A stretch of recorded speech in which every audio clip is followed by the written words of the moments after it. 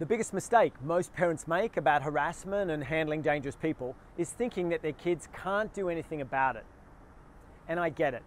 Everyone tells you that assaults, aggression, and bullying are everywhere these days, and if your child gets picked on or targeted by someone bigger, stronger, or meaner, then it's just bad luck. But let me ask you does every kid who ends up in these situations become a helpless victim? No.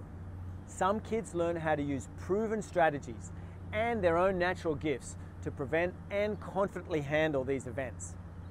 And besides, thinking that you and your kids should hide away and avoid learning this stuff could actually be making them more of a target.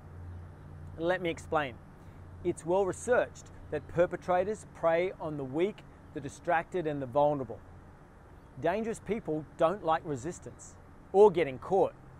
They're looking for an easy mark, a doormat to step all over. If you and your children are not trained in empowerment and avoidance strategies like awareness, body language, and voice power, it shows and can actually increase their chances of becoming a victim. So let me ask you do you really want to keep believing that you can't do anything about harassment, public aggression, or dangerous people? Do you want to keep believing that you can't do anything to predict, prevent, or confidently handle perpetrators, thugs, or bullies? Do you want to keep believing that your child's only option is to rely solely on luck? My passion is to give you the tools, the strategies, and the confidence to help keep you and your kids safe, strong, and empowered.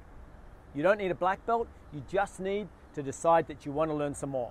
If you're ready to take control of this important area of your life for yourself, your kids, and your family, join or share my Facebook page and I'll help you to start.